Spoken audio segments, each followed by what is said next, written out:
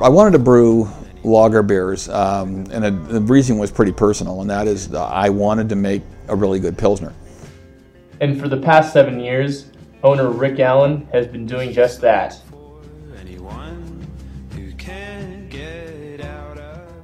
Heater Allen specializes in producing distinctive, all malt lager and other German and Czech style beers. Rick and his daughter Lisa brew in McMinnville, Oregon at their six fermenter location.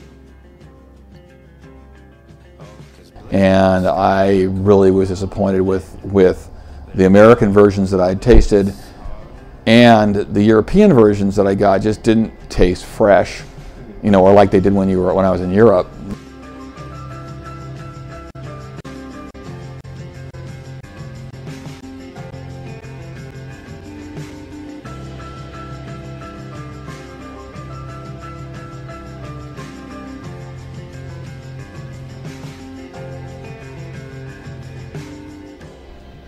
I think there were a lot of challenges because because we're brewing German style beers, and so um, you know, Germans brew beers differently than Brit than the British people do, and the British people are what we tend to emulate when we, as craft brewers, are making beer. And so most of the brewing systems out there are set up for making ales, and and brewing in a British style, and brewing in a German style is totally different, and really requires um, you know, a, a, whole different way of looking at things. And, and you know, quite frankly, I just lucked out um, that I happened to get a system that would allow me to modify it so that it would work for what we wanted to do.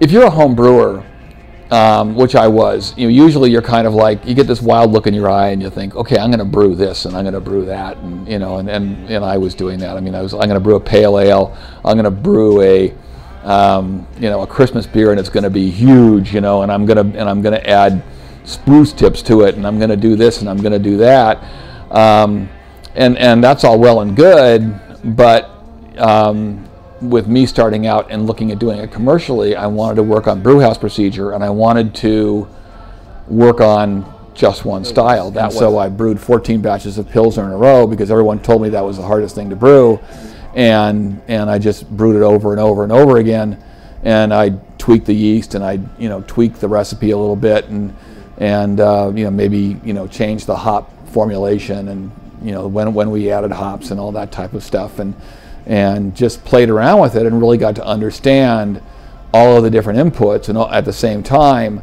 got to work on my brew house procedures so that I could ensure that that you know everything came out like it was supposed to every time you know, because a lot of times if you're a home brewer, it doesn't always come out the way you expect it to, but it's okay because you're only doing it once. And so it's like, well, yeah, but that's what I guess I really meant to do, you know.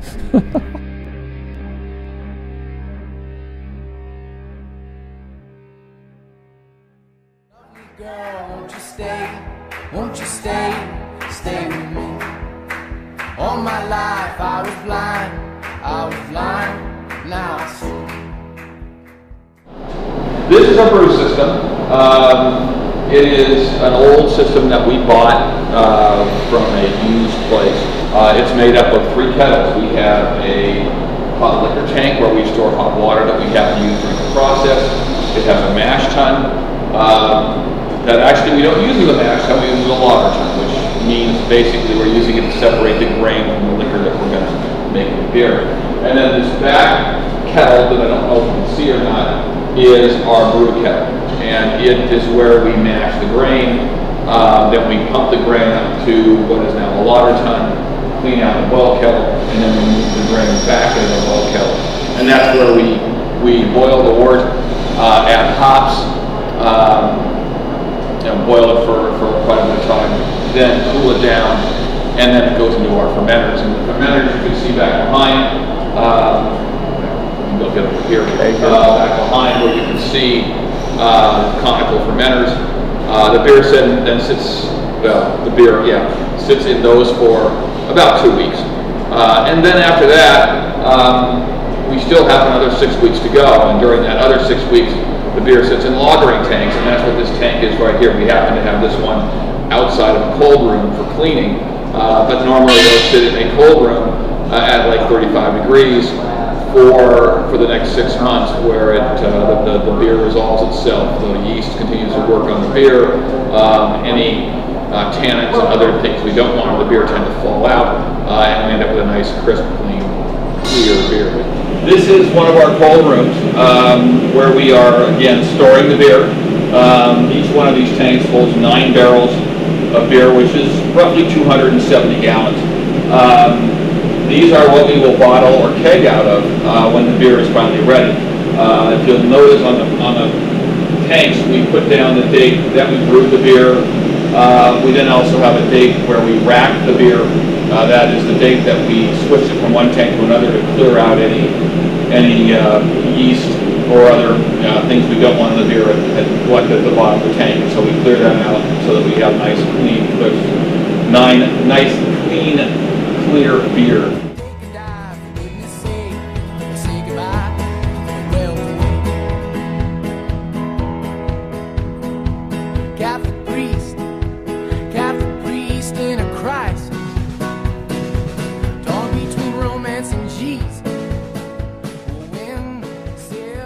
So I graduated from Oregon State in 2005 um, with a degree in archaeology. and uh, I knew I didn't want to go to grad school right away, so I actually um, went and traveled to New Zealand. And um, then when I came back, um, I worked at um, Pelican um, Pub and Brewery on the coast, and kind of I'd always been interested in craft beer, and kind of got um, it was cool working at like a brew pub and where the beers are really good and stuff like that. Second, I worked two summers at Pelican. Second, after the second summer I worked there, my parents were moving to McMinnville because I think that was around the time when my dad was starting the brewery, and I worked harvest at a winery. Um, and uh, then I actually went to. I had all intentions of going to grad school actually, um, and then uh, I um, worked at a winery, and then actually went to New Zealand and worked at a winery in New Zealand and decided I didn't want to go to grad school for for um, historic preservation that I wanted to get in the wine industry. So um, when I came back after working harvest in New Zealand, I um, got a job at Argyle Winery, and then um, worked actually in the tasting room there and took classes at Chemeketa through their wine, the wine program there. And then um, after working a year there, I uh, decided to go down and work harvest in Napa and um, I had like these grand plans of maybe going to Australia or something the next winter um, to work harvest there. And my dad actually asked me if I would come work at the brewery, and um, so I decided to work at the brewery. I had like I thought that it was going to be a short time that I would be here, and it's been like three and a half years now. So and I I mean I consider this my career now. I mean the one thing I do think that has been really, really helpful is is that Lisa has a really good palate, and and once I get her trained on how to do recipes, you know, how to formulate recipes, then look out. There's definitely different flavors and stuff that you get from beer than that you get from wine, but um, and in so, sometimes I think it's more even subtle in beer than it is in wine. Um, but I mean, it's just it's just learning how to taste, and if you learn how to taste wine or beer, no matter what it is, you can go kind of back and forth.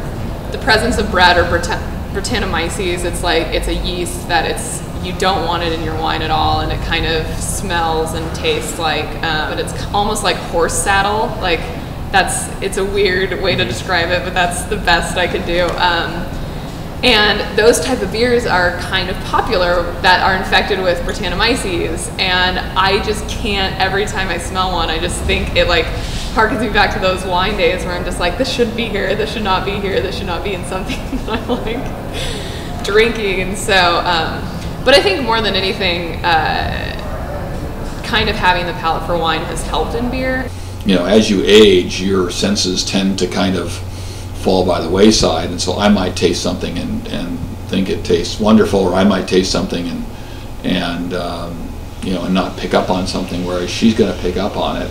Um, and so, you know, we're starting to, to look at, at developing some recipes together. She, she and I kind of collaborated together on, on developing the recipe for Bobtoberfest this year.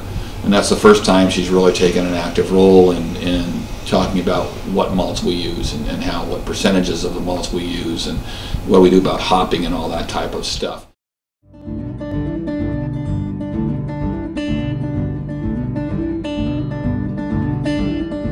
When we were younger, we thought everyone was on our side. Then we grew a little and romanticized the time I saw flowers in your hair. I want to keep the, the distribution chain as short as possible. Um, the closer I can get to my customer, the better off I'm going to be.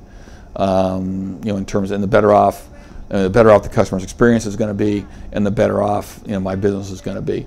And so, um, you know, we we self-distribute. We basically do it all ourselves. Um, we deliver all the beer, so we know all the people in all in all the supermarkets we, or the grocery stores that we sell at. We know the people at the restaurants that that we sell beer at. Um, we also can ensure that the beer gets to the, the the customer in the best possible shape.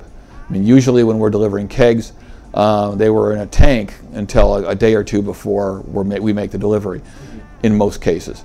Um, and with the bottles, you know, well, and everything we do is refrigerated constantly until it gets delivered to the stores. You know, and, and I mean, to us, freshness is, is paramount. You know, to, to what we're doing. Time. I mean, if it ends up sitting out on a loading dock at 90 degree day for for uh, you know all day, you know, who knows what it's going to taste like. Um, I'm not really interested in finding out.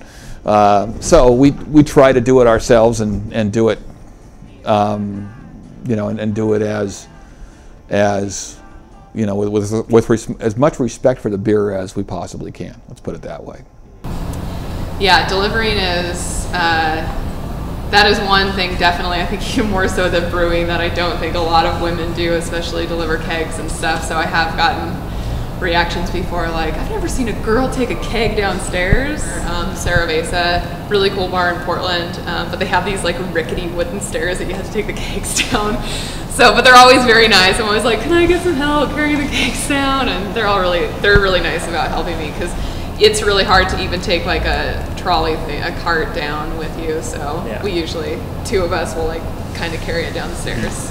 As far as restaurants are concerned, um, I th- we try to focus on fine dining as much as we can. Um, we think that our beers go really, really well with, with a variety of foods um, and, and can really complement you know, a dining experience. And so we want to be at places like Castagna and Genoa, um, you know, where, that carry our beer, or Firehouse up in North Portland, um, you know, and, and places like that. Um, and, and so that's been the focus. Uh, at the same time, um, you know, we we have to provide beer to anyone who calls up and asks for it as long as we have beer to sell. And so um, we have relationships too with a number of taverns. You know, so like there's a place called the Gold Dust Meridian on Hawthorne. They have our beer. Um, there's a little place just off of Belmont called the Side Street Tavern. They have our beer. And there's a place up on Alberta, uh, Binks, that has our beer.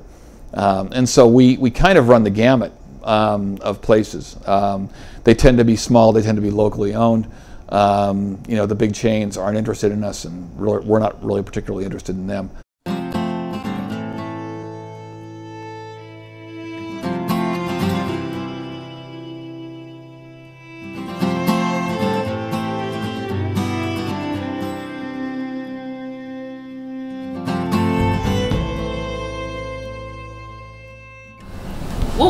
That I think is really cool about what we do here, um, and is that we do make something different than most other people do, and um, I do think that is really cool, and I like being part of something where. Um, I mean, people, because everything we do is so different, I mean, people come up to me and they're like, Heater Allen, I love that beer. You guys make the best pills. And that just, I love that. It's great. It's like, oh, thanks. Big deal. I mean, one of the things that um, is becomes very frustrating is when you can't keep up with demand. And and we have, I mean, it's just like that telephone call I just had.